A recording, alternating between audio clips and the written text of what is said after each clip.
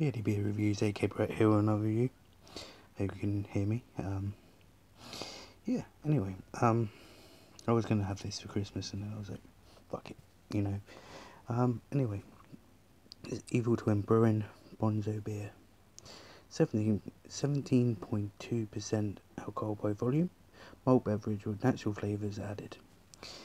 Um, it says, enjoy this rich, nutritious screwball imperial stout with hints of uh, molasses, lactose, chocolate, almond, hazelnut, vanilla bean, cinnamon, oak spiral, chili, marshmallow, muscovado, sugar, coffee, made for the bonzos. A nice toy can. Shouldn't be drinking this on a school night, but yeah.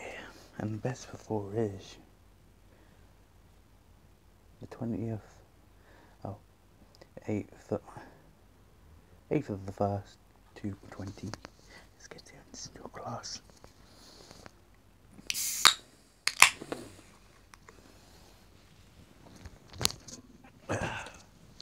Didn't know what glass to use, but that's like, oh yeah, that's good.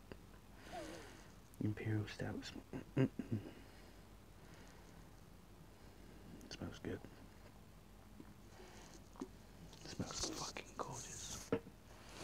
Anyway, um, moving on.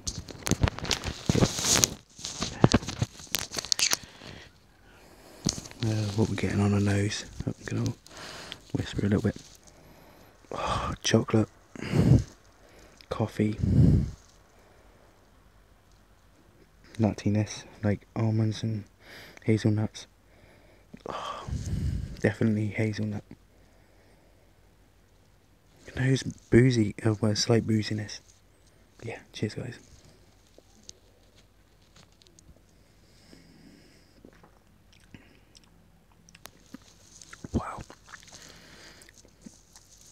That's on par as um, even more cocoa cheeses.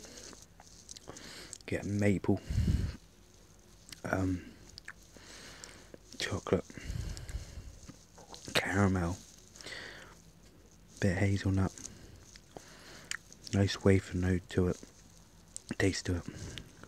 It's really gorgeous. I love it. And doesn't taste like a 17.2% beer. But yeah, cheers guys.